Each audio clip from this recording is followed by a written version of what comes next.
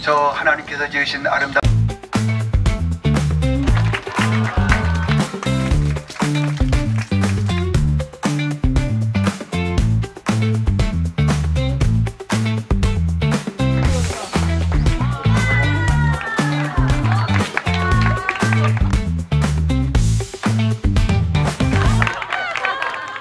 다시 복음으로.